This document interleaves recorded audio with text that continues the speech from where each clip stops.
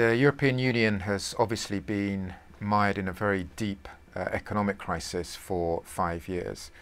This crisis is largely internal and economic in nature, but this book argues that the crisis is also beginning to have a broader uh, global impact as well. It's beginning to change the way that the EU relates with the broader international system and change the way that other powers around the world uh, interact with the European Union.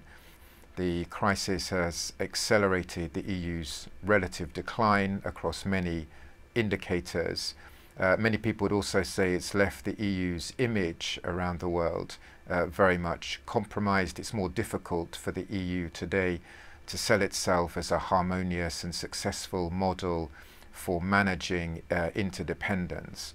Uh, but, but the book also points out that the crisis has been so severe that it does seem to be um, pushing European governments into getting their act together in the foreign policy uh, sphere. One effect of the crisis is that it's made European governments much more geo-economic in their thinking. They're becoming uh, much more organized in pursuing their commercial and economic interests around the world.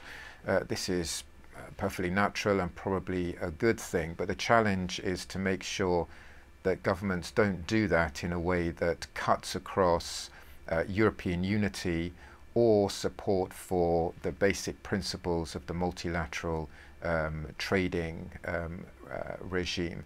To some extent, there are some concerns that the way that some governments are pursuing their economic diplomacy uh, may be risking uh, undermining some of these core principles over the longer term.